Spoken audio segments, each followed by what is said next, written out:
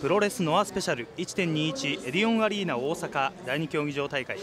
ザ・ファーストナビゲーション2017の最終戦を迎えました。さあ解説の佐久間さん。はい。ノア・ザ・リボーン、まあ、ノア再生のもと、はい、各選手たちが奮起してますよね。そうですね。あの本当にね開幕の試合から熱い戦いっていうのがね続いていまして、はい、もうこのねノア再生にかける思いというのを感じますよね。え。ー、はい。まあ、そして今日なんですがあのセミでは GH ジュニア、はい、まあ、初めてシングルの王者に輝いた大原が、まあ、初の防衛戦とい。うことになりまして、はい、まあ、地元大阪出身の原田が挑戦するということになりますね。ね。まあ、やっぱりね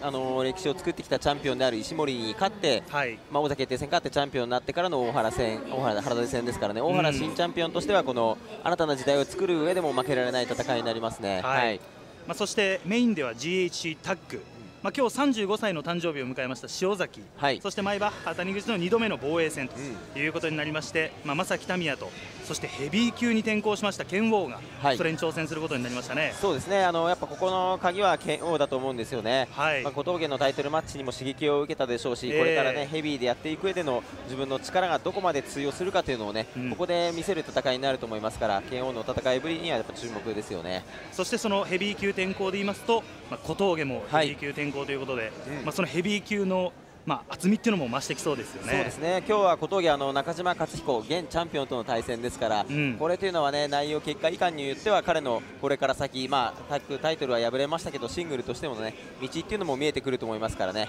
その戦いぶりまあどんな試合してくれるか期待したいですね。まあ、そして杉浦についていくことになりました二十歳の清宮など、まあ、話題は盛りだくさんありますね、今ののそうですね、まあ、それぞれの選手がねかなり自覚を持って戦っていると思うので、まあ、一つ一つが注目ですね。はいノアの2017年さらに熱い戦いが続いていきます。大阪大会試合開始は間もなくです。